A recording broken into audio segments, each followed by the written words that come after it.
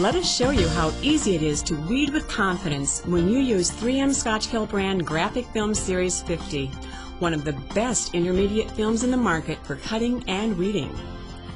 Weeding is the removal of unwanted film from this electronically cut graphic.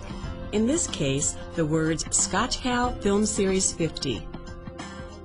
Pick out the cut areas of closed letters such as O's, P's, and D's using an air release tool or straight pen. Next, plan the direction you're going to weed the rest of the film. For numbers, most open areas are on the left, so you weed from left to right. For letters, most open areas are on the right, so you weed from right to left. Some graphics will have a combination of characters that are open on both the left and right, such as this 5, which is most open on the left, and the letters, which are most open on the right.